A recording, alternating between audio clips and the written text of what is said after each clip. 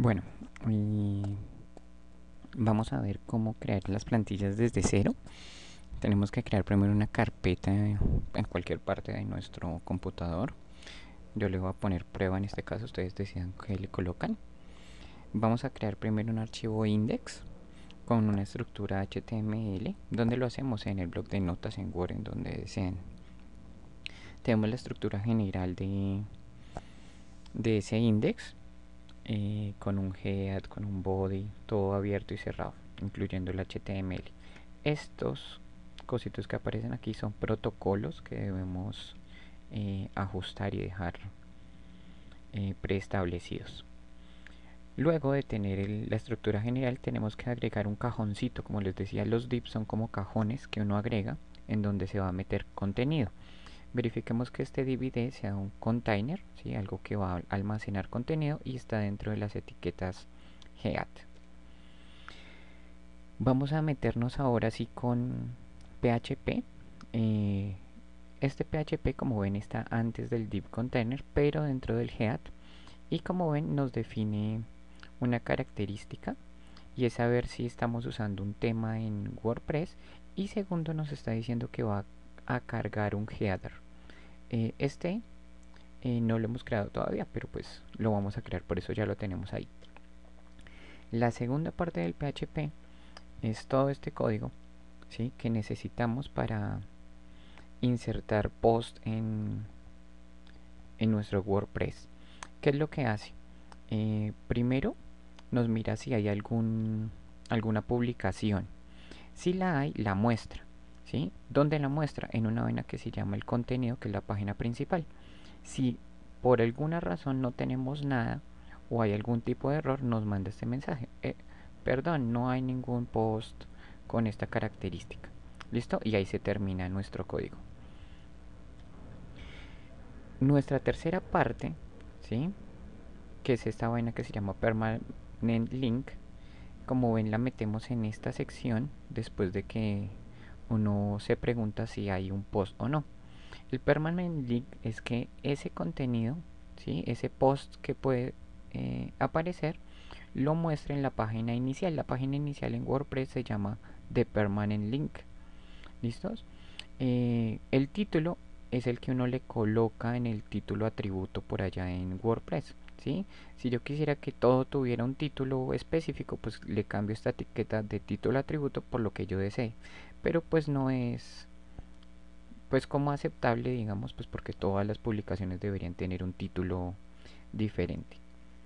Luego de que tengo eso lo guardo en, un, en la carpeta como index.php la estructura del header se acuerdan que por acá eh, estamos tomando un header significa que debe haber un archivo que se llama header ese header eh, tiene una estructura bastante similar. Tiene unas características, si ven, las mismas de HTML, ¿sí? Al inicio. Pero si ven, no se cierra en este momento. Luego vamos a ver por qué. Eh, tiene una estructura sencilla de PHP. Vean el PHP acá, ¿sí? En donde nos dice el formato, si se va a mostrar eh, la fecha y demás. Si va a haber comentarios o no va a haber comentarios ¿Listo? ¿Y dónde se va a cargar? Que en este es el, caso, es el en el head en este caso. Eh, también veamos que tenemos un cajoncito que se llama header. Eso implica chicos que eh, acá cuando en el index cuando tomamos el header hemos creado un container dentro del index pero como el header tiene un cajoncito también, también se va a generar aquí otro cajoncito. En este caso ya tendríamos dos cajones que se van a crear, digamos, automáticamente en el index. Uno porque ya tenemos en el index y otro por el header que acabamos de, crear. Eh, ese cajoncito header tiene una característica y es que nos va a mostrar el título ¿sí? o el nombre de nuestro blog. ¿sí? ¿Listo? Y una descripción.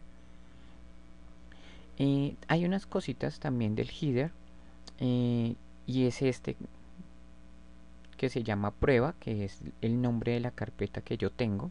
Si yo no tengo esto bien puesto, no me va a cargar. Si yo, por ejemplo, creé mi carpeta y se llamó test y acá le pongo prueba, pues él no va a asumir que está en el en el lugar correcto de, mi carpeta. Y este título, él busca, ¿sí? El nombre de mi sitio, ¿sí? Y lo asigna, ¿sí? Como el blog de la información y lo asigna aquí al deep header. ¿Listos? Estos meta, ¿sí?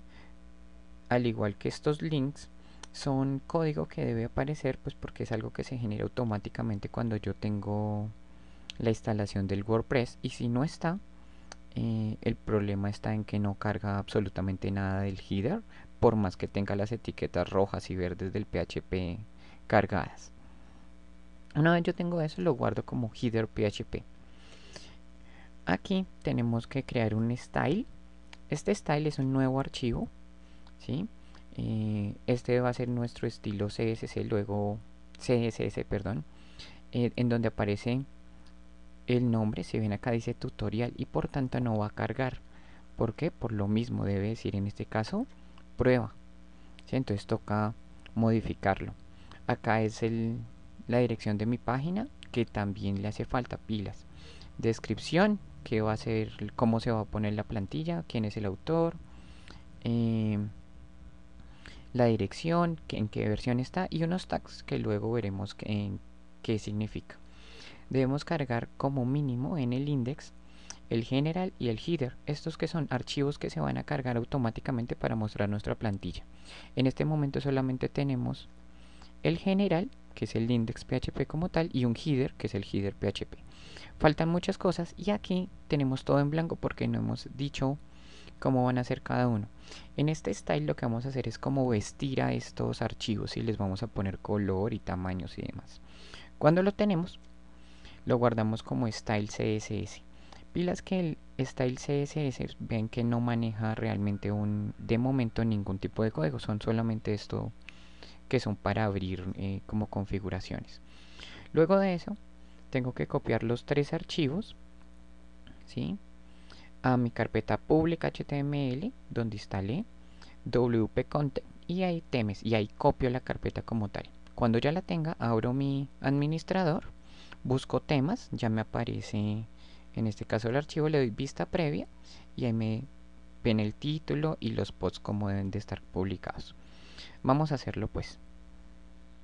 Eh, acá tenemos ya corregido prueba acá el URL me faltó el host22.com eh, prueba plantilla 1 coloquémosle eh, acá tenemos una cantidad de cosas y el header lo guardamos. Ya sabemos que tenemos una carpeta prueba entonces ahí la guardo. Lo reemplazamos. Acá en el header voy a cambiar esto por prueba pues porque es mi nueva carpeta y lo guardamos también. Y acá tenemos esto lo guardamos. Yo uso Faisila. En Faisila pues yo como lo estoy haciendo directamente en un hosting entonces voy a ir y voy a ir a temas ¿sí? y voy a ir a prueba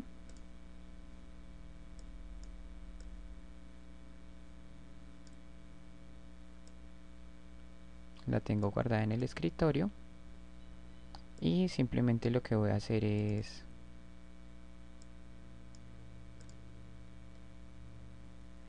arrastrar la carpeta en este caso.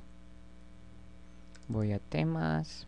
Acá ya tenemos una que yo había llamado tutorial porque estaba probando los errores que nos habían salido. Listo ya tengo prueba como tal. Ahora voy a ir a a mi página como tal. ¿sí? acá la tenemos ya